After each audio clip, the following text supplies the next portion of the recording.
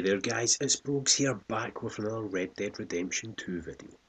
In this video I'll show you the location for Amazing Inventions card number 3, the electric chair.